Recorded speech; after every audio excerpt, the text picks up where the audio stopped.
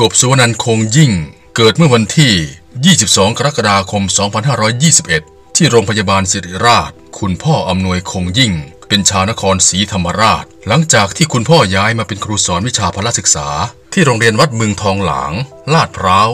101 ก็ได้ย้ายครอบครัวมาอยู่กรุงเทพมหานครด้วย คุณแม่อุบลรัตน์คงยิ่งทำหน้าที่แม่บ้านอย่างไม่ขาดตกบกพร่อง กบสุวรรณคงยิ่งมีน้องชายหนึ่งคน ทั้งสองเติบโตในบ้านพักย่านลาดพร้าว ใกล้ที่ทำงานของคุณพ่อนั่นเอง วัยเด็กของกบสุวรรณมีความขี้อาย ไม่กล้าออกหน้านำใคร แต่ถ้าเป็นกิจกรรมของโรงเรียนแล้วล่ะก็ เธอเข้าร่วมถึงไหนถึงกันด้วยความขยันขันแข็ง ตามแต่คุณครูจะเรียกใช้